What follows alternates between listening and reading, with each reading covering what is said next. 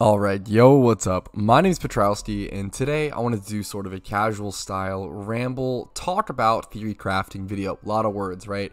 I wanted to talk about a mechanic in Pokemon that is kind of suboptimal, but I think could be really, really good and really, really interesting. And hopefully, there's so many options for it.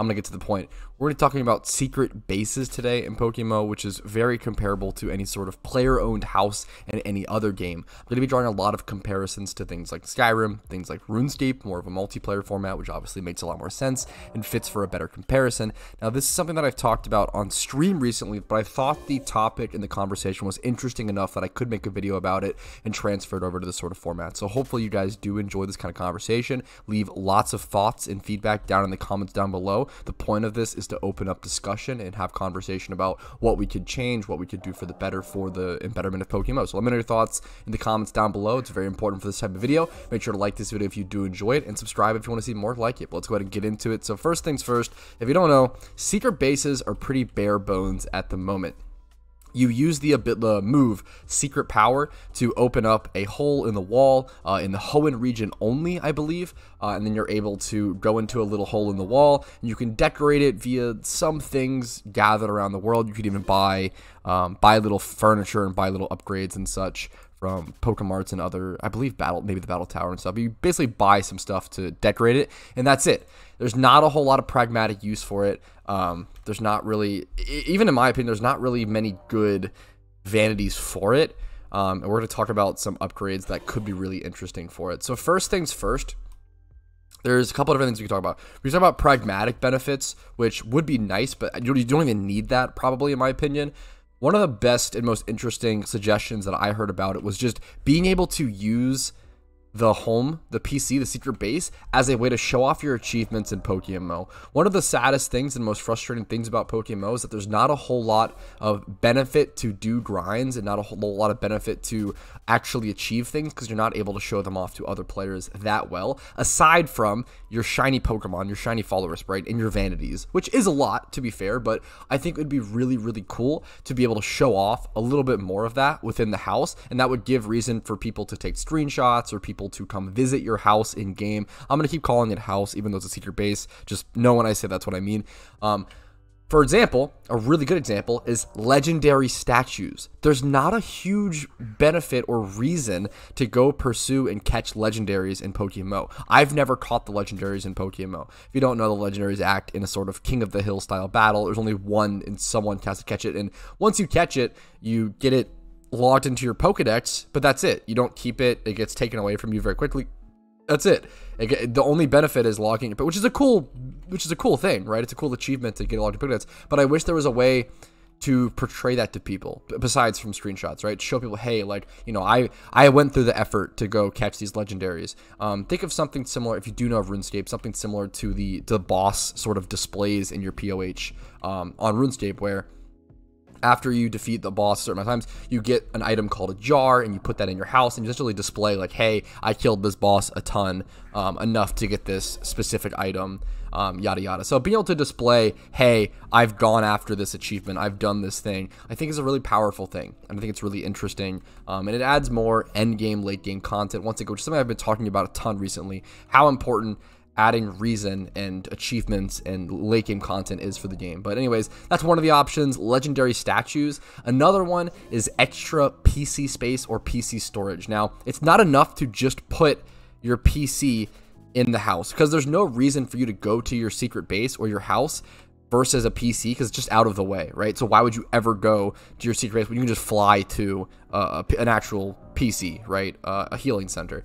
Um, there has to be some sort of benefit. So I think aside from PC expansion boxes, I would love to see them add some sort of maybe upgraded version of a PC that you could only build within your personal house that you can then use uh, to store more Pokemon. And maybe you can only access those Pokemon if you're at your your house's PC. I think that's pretty interesting. I think it's a really really cool option. That was a fantastic suggestion from a viewer.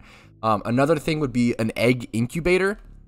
Egg hatching in Pokemon is extremely slow, even with um, donator status and a flame body Pokemon. Now, we don't have to make it incredibly faster. We don't have to like fucking have the time, right? But maybe, maybe there was like an egg incubator zone in your house that would make egg hatching like 10% faster, right? I think that's totally balanced. I think it's totally fine. I'm not asking them to make any sort of broken mechanics that make secret bases unbelievably like required and needed, but I think there should be it's tough because you have to have the benefits be good enough to where people actually want to use them. That's the current situation that we're at, where there's really no reason to go to your secret base and no one really cares about decorating it. I think it's such an interesting concept and such an interesting part of the game that I would love to see fleshed out a lot more. Uh, now, obviously, I don't know enough about the coding and everything behind it, so maybe it's not possible. I don't know, right? I'm just having a conversation.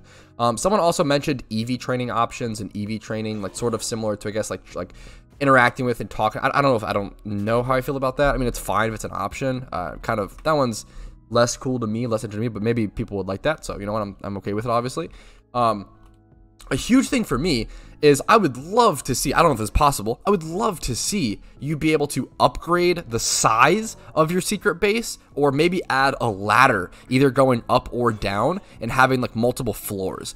Currently, the secret base is really, really small. Maybe I'm just uh, in the minority. I, I feel like it feels really, really small. I would love to be able to see an upgrade ability, either to just increase the size or to just add rooms. I think that would be super, super interesting. And that alone would add like a huge benefit um, to be able to store more stuff um, and just show off more stuff. I don't think there's enough showing off that you can do in Pokemon, funnily enough, with it being an MMO. Um, and that kind of goes into, I would love to see the ability to be able to right click someone and like inspect them. I think that would be really, but that's a different video, but that'd be really interesting um, mechanic as well to see added. There's so many beautiful things we could add to this game. And now I do have some other things I want to talk about that aren't necessarily related to secret bases. But the last benefit that I, I have thought of, we thought of on my stream for secret bases would be PvP trophies. I love the idea of being able to show off certain trophy ranks uh, that you achieved in PvP. Let's say you achieved top 10 in OU, right? That'd be really cool to be able to show off a top 10 trophy in your POH. And that would also be another benefit to achieving that, right?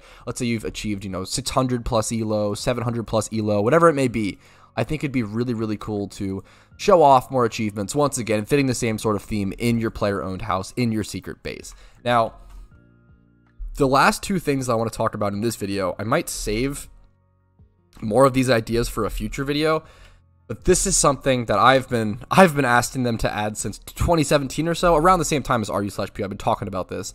I personally, and maybe this is just me, I personally would absolutely love a guild hall or a team hall or a team base. I think that would be one of the most interesting things to be added to the game. I don't, I don't know about you guys, but the the most I have ever felt connected to a team in any game was in Spiral Knights. And I didn't even play that game that much, but in Spiral Knights, they had a beautiful guild hall. You would hop in there, you would slash sit around your teammates and just run like a little campfire, have little conversations. It was really cute and it really adds for a really bonding experience. Having a guild hall that everyone can work towards to decorate um, and just have a common location.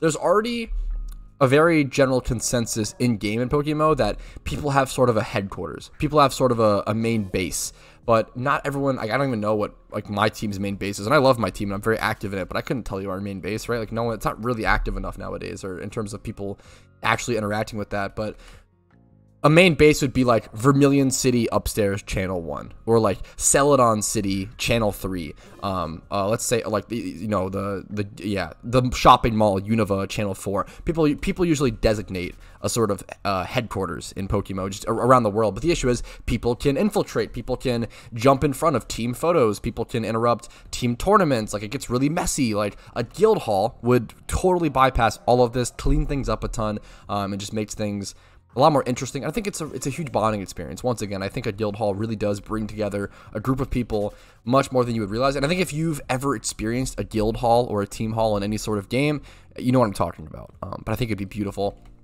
And with alongside a guild hall comes a guild PC where you would be able to store Pokemon, store competitive Pokemon, store whatever. Let's say your teammates want to borrow an OU team or want to borrow some Pokemon uh, for an upcoming tournament, maybe a team tournament. It'd be a really easy way to share sort of access to that. Now, teams in the past, I don't know how many of them do this nowadays. Teams in the past have had a team account that you're allowed people like log on to and like store Pokemon or store Pokemon on that account uh, to be able to give out for team events like prizes and stuff. So a guild PC would solve all of that as opposed to just having a different account, right? So I think a guild hall and a guild PC would be fantastic things, which solve a lot of the current issues and would add a lot more bonding to the game. Just my personal thoughts, my personal opinions.